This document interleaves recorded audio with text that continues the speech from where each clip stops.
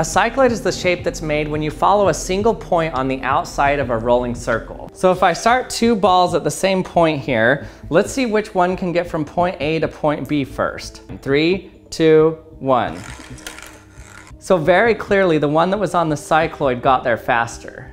Okay, well maybe it's just because this one had to start out pretty slow because it's not very steep right here. So let's try to make it even steeper. Let's put it in the bottom one here. So no matter what you could dream up this other track looking like, the cycloid track will always be faster. If I take up the full piece here, it's called a brachistochrone curve. But if you only take up to the portion where it levels out, this is called a tautochrone curve. No matter where I roll down the balls on these tracks, they always hit the end at the same time. As long as we release them at the same time, they reach the bottom at the exact same time, no matter where they started on the track. It takes a constant amount of time to get down the track. That means it's pretty simple to figure out what that time is.